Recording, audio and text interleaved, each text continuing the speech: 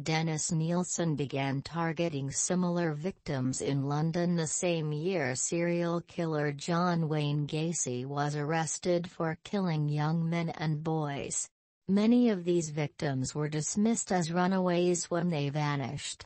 The year that serial killer John Wayne Gacy was apprehended by law enforcement was also the year that a serial killer in the United Kingdom was caught. In an eerily similar manner, they began targeting their victims.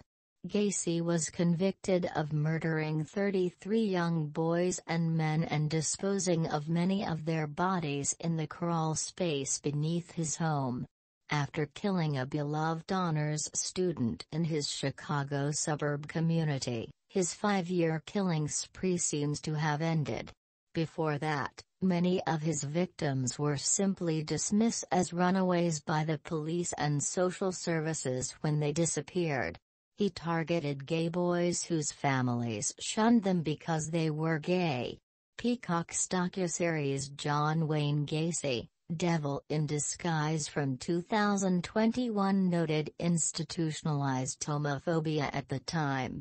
As Dr. Sherry Hamby, a research professor of psychology at the University of the South, Gacy was aware that such individuals often slip through the cracks and are not always properly investigated when they disappear.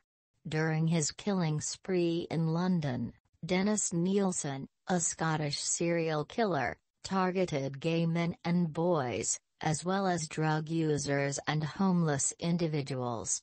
He claimed to have killed 15 males over a five-year period when he was arrested in 1983.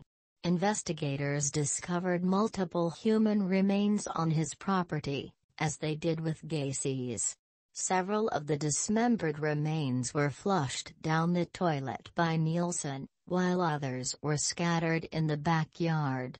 Netflix's new documentary, Memories of a Murderer, The Nilsen Tapes points out that the gay men and boys who survived the murderer's attacks were either dismissed by the police or afraid to come forward because of institutionalized homophobia.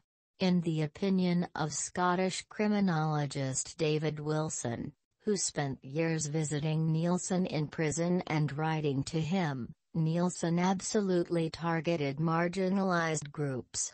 Those who are marginalized in some way are the only groups that serial killers are likely to target, and they are unlikely to be missed if they were to disappear.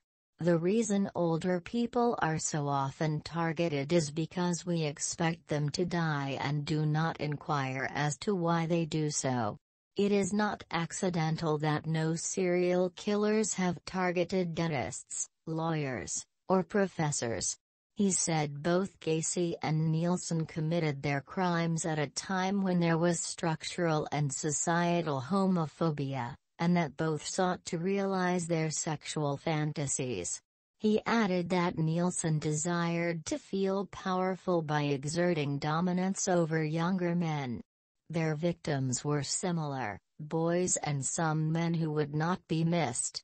A 2020 UCLA study found that LGBT persons are nearly four times more likely to be victims of violent crime than non-LGBT persons.